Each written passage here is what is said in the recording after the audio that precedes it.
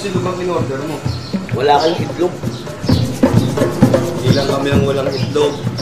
Walang itlog sa buong koron. Walang itlog sa buong koron. Walang itlog kasi walang manok. Hirap naman yung lagi na lang tayo nag import mula sa Manila ng mga itlog. Alam mo kasi yung poultry dito sa koron eh. Eh, dapat na siguro magkaroon kayo ng free-range farming dito sa koron. Dapat kong malaman tungkol sa free-range farming?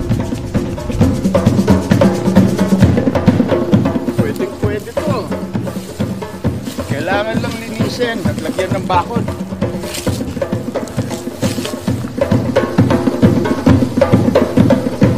Kailangan natin mag-usap.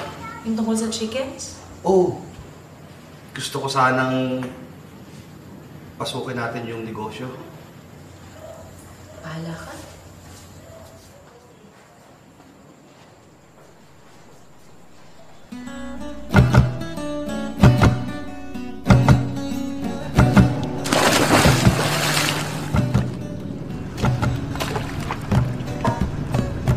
Jump in.